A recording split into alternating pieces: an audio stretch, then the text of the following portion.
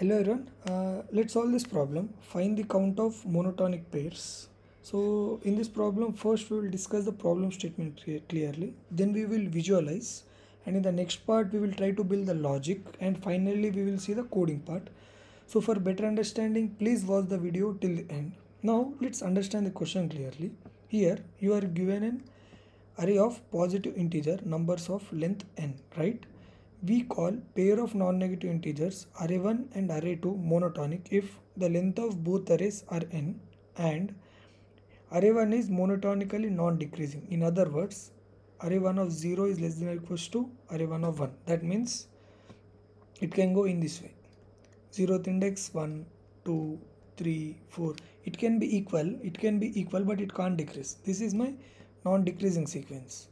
And coming to the non-increasing sequence, you can see first element will be my top greater element. This is also it can it should be next element should be greater than or equal less than or equals to not greater than. Then same thing this dip it follows. So what does it mean? First one is it is increasing sequence but not strictly increasing. Strictly increasing is the straight graph sequence where the uh, this is not possible. That's why it's going not decreasing so we will consider this as strictly increasing uh, not like only increasing not strictly. Here this is decreasing sequence. This is decreasing sequence. So my values can be 0 0 1 2 4 4 2 so it's it can be equal and it can increase but it should not decrease. So after 5 you should not get 4 if you are getting 4 it's not valid.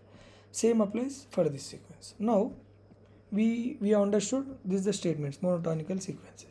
Then we have array 1 of i plus array 2 of i. That means the for the first vector like consider it as array 1 for array 1 for v1 you will take one element suppose x. For array 2 you will take y. And he's saying that this x plus y should be equals to my my original original numbers original number. So x plus y is equals to my original nums of i he's saying that okay. We need to return the count of monotonic pairs. He's saying that we need to return the how many monotonic pairs are possible. Okay it's good. Now let's select like 2 3 2 right? So here you have taken 0 1 1 and 2 2 1 if you add you will get this. So this is my increasing this this is my increasing sequence and this is my decreasing. So here increasing decreasing increasing decreasing. So in this way you have formed four outputs. Now let's see the constraints. If you see the constraints is 2000 whenever you see like 10 power 3 constraints uh, try to think in terms of dp now if you're thinking about dp right? If you're thinking about dp my numbers are very small. How we can think? So what i will think is uh, for the first array right? For the first array i can choose the elements from i can choose the elements from 0 to 0 to nums of i right? Nums of i i can choose the element. And for array 2 what i can choose? If you are choosing 0 then for array 2 nums of i minus 0 you can choose. If you are choosing 1 then it's nums of i minus 1 okay. This you can choose. And is saying non increasing non decreasing okay. So after choosing this also can you store these values? All the previous values last values. Oh you only required that right? Suppose uh, this is monotonic sequence. This is monotonic sequence. You have two elements. And you need to store this only. If you are storing this you can say if it is greater than or equal then you will say it's increasing if it is decreasing you need to store only one element. So what i will do is i will try to store one element. Okay it's good. I will try to store the one element. So first this is my increasing sequence and this is my decreasing sequence. First i can choose 0 right? So if you see here my values are from 1 to 50 so my minimum value can be 0 so i can take 0 and what i can take in the maximum value? Maximum value i can take 50 50 right? 50 consider it as a previous of first array previous of the second array this is my increasing sequence and this is my decreasing sequence. So in this increasing sequence i got the previous value. I got the previous value. Now for i for i 1 to v of i i will iterate. 1 to v of i i will iterate. For x1 equals to i. I will say this is my i. This is my first number. For x2 i will subtract v of i minus i. And this is increasing sequence right? It is increasing so what i will do is i will check. X1 is greater than or equals to previous of 1 so i will store previous of 1 as 0 and the maximum it can reach till 50 so maximum value i have taken 50 now now x2 is less than or equals to previous 2 if both conditions are satisfied if both conditions are satisfied i will increment my index. I will increment my index. This is how the recursive function works. This is how the recursive function works. Try to think like if you are taking i if your x2 will be v of i minus i and my x1 should be greater than previous of 1 and x2 should be less than or equals to previous of 2 this is how uh, the logic works. So i think you have got the logic. So try to try to code by yourself. So if you are unable to code we can go for the next part of the video. Now let's see the coding part. It's simple.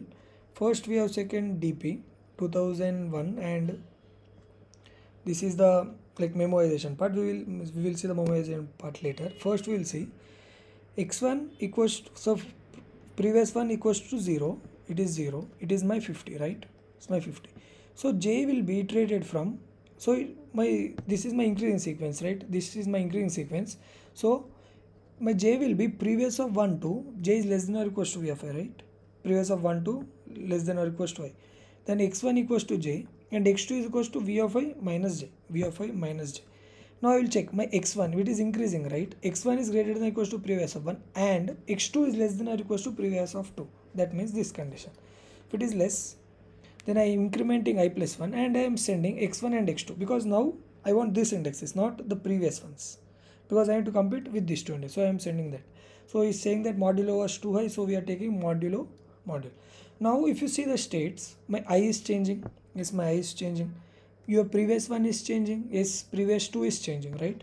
Okay i. If you see i it can reach till 2000 2000 so I'll take 2001 and maximum my elements can be 50 so I will take 51 right? 51 and 51 so in this way I will form the DP states 2001 52 52 for the 51 you can take but for safe side I have taken 52 so you can take this. And this is a overlapping subproblems because the states are changing. So I will store in the DP and if it's not equals to 1 I will return the the value which is present in the memcache. That's what DP so I think you have learned something new. So here if you see the time complexity it will be 2000 into 50 into 50 it will be like around 10 power 6 to 10 power 7 10 power 6 to 10 power 7 and same space you are using same space because dp is going in this space only. So i think you have learned something new. So if you learned something new please do like. And if you're new to the channel please consider to subscribe. And i have created a whatsapp community. You can join there for further discussions if you have any doubts regarding this problem you can comment it down. I will try to help you. So i will see you in the next video. Till then bye bye